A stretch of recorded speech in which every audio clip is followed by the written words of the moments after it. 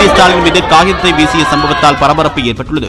விடியலை நோக்கி ஸ்டாலினின் குரல் என்னும் தலைப்பில் திமுக இளைஞரணி செயலாளர் உதயநிதி ஸ்டாலின் தமிழகம் முழுவதுமாக பிரச்சாரம் மேற்கொண்டு வருகிறார். அதன்படி கடலூர் மாவட்டம் சிதம்பரத்தில் நடைபெற்ற கூட்டத்தில் உதயநிதி ஸ்டாலின் பேசினார். அப்போது மேடையில் நின்றிருந்த உதயநிதி அங்கிருந்து தொண்டர்களுக்கு கை கொடுத்தார். அப்போது கூட்டத்தில் இருந்த அடையாளம் தெரியாத நபர் உதயநிதி மீது காகிதத்தை வீசினார்.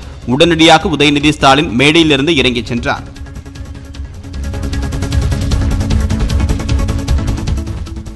வரும் முப்பத்தோராம் தேதி நடைபெறவுள்ள சிறப்பு பொதுக்கூட்டத்தின் முடிவில் இரண்டாயிரத்தி இருபத்தொன்று சட்டமன்ற தேர்தலில் தங்கள் நிலைப்பாட்டை தெரிவிப்பதாக பாமக அறிவித்துள்ளது. இது தொடர்பாக அக்கட்சித் தலைவர் ஜி கே மணி வெளியிட்டுள்ள அறிக்கையில் வரும் முப்பத்தோராம் தேதி காலை பதினோரு மணிக்கு இணைய வழியில் இரண்டாயிரத்தி இருபதாம் ஆண்டிற்கு விடை கொடுப்போம் இரண்டாயிரத்தி இருபத்தோராம் ஆண்டை வரவேற்போம் என்ற தலைப்பில் ராமதாஸ் மற்றும் அன்புமணி தலைமையில் பொதுக்கூட்டம் நடைபெறும் என கூறப்பட்டுள்ளது. இதில் தமிழ்நாடு மற்றும் புதுச்சேரியில் உள்ள பாமகவின் அனைத்து நிலை நிர்வாகிகளும் பங்கேற்க உள்ளனர் இரண்டாயிரத்து இருபதாம் ஆண்டில் பாட்டாளி மக்கள் கட்சி சார்பில் மேற்கொள்ளப்பட்ட கட்சி மற்றும் வளர்ச்சிப் பணிகள் குறித்த ஆய்வும் இரண்டாயிரத்து இருபத்தோரு தேர்தலின் நிலைப்பாடு குறித்தும் அறிவிக்கப்படும் என்று கூறப்பட்டுள்ளது.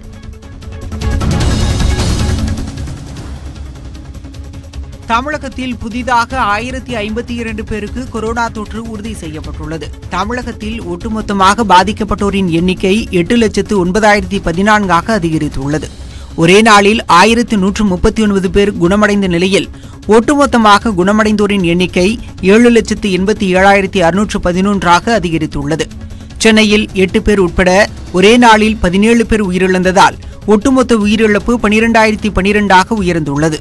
பிரிட்டனிலிருந்து வந்த ஒருவருக்கு தொற்று உறுதி செய்யப்பட்ட நிலையில் அவரது மாதிரி புனேவில் உள்ள ஆய்வகத்திற்கு அனுப்பி வைக்கப்பட்டுள்ளதாக சுகாதார அமைச்சகம் தெரிவித்துள்ளது.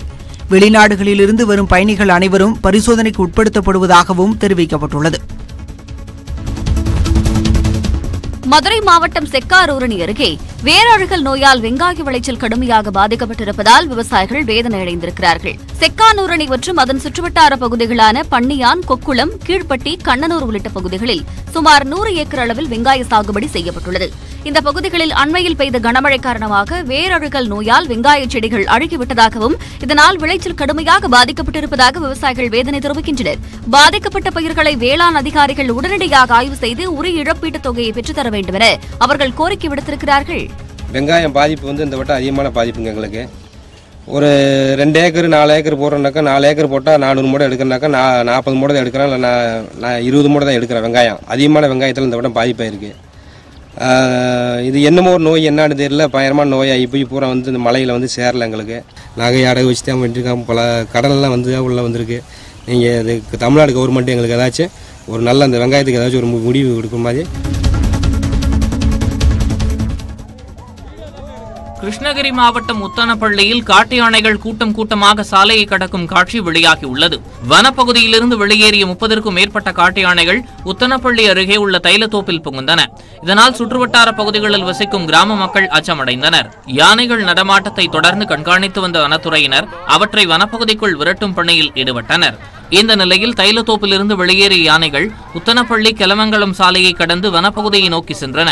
அப்போது சாலையின் இருபுறமும் வாகனத்தை நிறுத்திய மக்கள் யானைகளை தங்கள் செல்போனில் படம் பிடித்தனர்.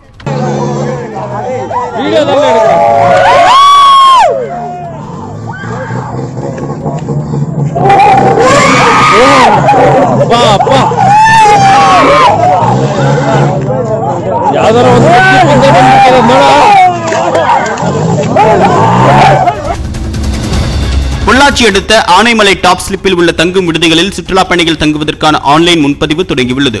டாப் ஸ்லிப்பில் புள்ளிமான் யானை புலி சிறுத்தை கரடி உள்ளிட்ட விலங்குகளும் பறவைகளும் உள்ளன. வனத்தை சுற்றி பார்க்க யானை சவாரியுடன் மூங்கில் இல்லங்களில் தங்கவும் வழிவகை செய்யப்பட்டுள்ளது. இதற்காக தனி கட்டணம் வசூலிக்கப்படுகிறது. ஆனால் கொரோனா ஊரடங்கு காரணமாக டாப் ஸ்லிப் மூடப்பட்டதால் ஒரு கோடி ரூபாய்க்கு மேல் வருவாய் இழப்பு ஏற்பட்டுள்ளது. ஒன்பது மாதங்களுக்கு பிறகு தற்போது சுற்றுலா பயணிகளுக்கு அனுமதி அளிக்கப்பட்டுள்ளது. அத்துடன் ஆன்லைன் மூலமாக தங்கும் விடுதிகளில் முன்பதிவு செய்து கொள்ளலாம் என்று வனத்துறை அறிவித்துள்ளது. திண்டுக்கல்லில் பெண்கள் மற்றும் திருநங்கைகளுக்கான அழகி போட்டி நடைபெற்றது. தனியார் அசோசியேஷன் சார்பில் நடத்தப்பட்ட போட்டியில் நூற்று ஐம்பதற்கும் மேற்பட்டவர்கள் கலந்து கொண்டனர். தென்னிந்திய மற்றும் மேற்கத்திய கலாச்சாரத்தில் வண்ண ஆடைகளை அணிந்த பெண்கள் மேடையில் அழகு நடை போட்டு வலம் வந்தனர். போட்டியில் வெற்றி பெற்றவர்களுக்கு தனியார் அசோசியேஷன் சார்பில் பரிசுகள் வழங்கப்பட்டன. நிகழ்ச்சியில் பங்கேற்ற பலரும் கொரோனா விதிமுறைகளை முறையாக பின்பற்றவில்லை என புகார் எழுந்துள்ளது. தவறுதலாக செலுத்தப்பட்ட ரத்தத்தால் எச்ஐவி பாதிப்புக்கு ஆளான பெண்ணுக்கு மாதந்தோறும் ஏழாயிரத்து ஐநூறு ரூபாய் வழங்க தமிழக அரசுக்கு உயர்நீதிமன்ற மதுரை கிளை உத்தரவிட்டுள்ளது. இரண்டாயிரத்து பதினெட்டாம் ஆண்டு விருதுநகர் மாவட்டம் சாத்தூரைச் சேர்ந்த கர்ப்பிணி பெண்ணுக்கு எய்ட்ஸ் நோயால் பாதிக்கப்பட்ட நபரின் ரத்தம் தவறுதலாக செலுத்தப்பட்டது. இது தொடர்பான வழக்கு உயர்நீதிமன்ற மதுரை கிளை நீதிபதிகள் கிருபாகரன் புகழேந்தி அமர்வில் விசாரணைக்கு வந்தது.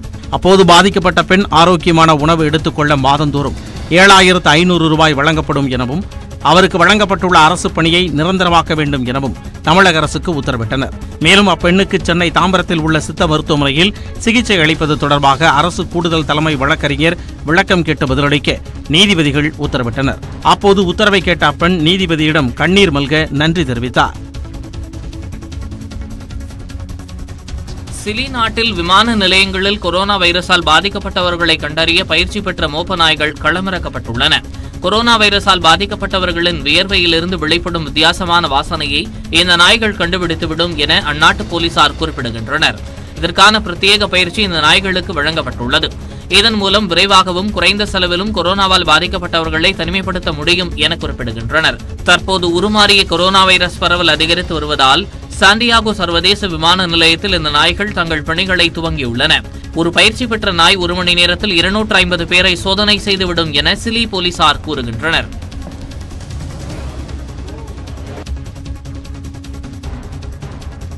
தீவிரவாத குழுக்கள் தங்களுடைய செல்வாக்கை வெளிப்படுத்த கொரோனா தொற்றை பயன்படுத்துவதாக இன்டர்போல் அமைப்பு தெரிவித்துள்ளது. கொரோனா தொற்றால் உலகளாவிய தீவிரவாதத்தின் போக்கில் ஏற்பட்டுள்ள தாக்கங்கள் குறித்து இன்டர்போல் அமைப்பு ஒரு அறிக்கையை வெளியிட்டுள்ளது. மேற்கத்திய நாடுகளில் கொரோனா கட்டுப்பாடுகளுக்கு எதிராக நடைபெறக்கூடிய போராட்டங்கள் பெருந்தொற்று காலத்தை பயன்படுத்தி மக்களிடையே பிரிவினையை உண்டாக்கும் முயற்சி என்று அந்த அறிக்கையில் கூறப்பட்டுள்ளது. மேலும் தீவிரவாத குழுக்களால் ஏற்பட்டுள்ள அச்சுறுத்தலை எதிர்கொள்ள உலகளாவிய காவல்துறை அமைப்புகளுக்கான பரிந்துரைகள் மற்றும் முன்னெச்சரிக்கைகள் குறித்தும் அறிக்கையில் விவரிக்கப்பட்டுள்ளது. இந்த அறிக்கையை ஆராய்ந்து வருவதாகவும் தீவிரவாத நடவடிக்கைகள் குறித்து கண்காணித்து வருவதாகவும் டெல்லி காவல்துறை வட்டாரம் தெரிவித்துள்ளது. மேலும் பல்வேறு செய்திகளை பார்க்க இருக்கிறோம். குறிப்பாக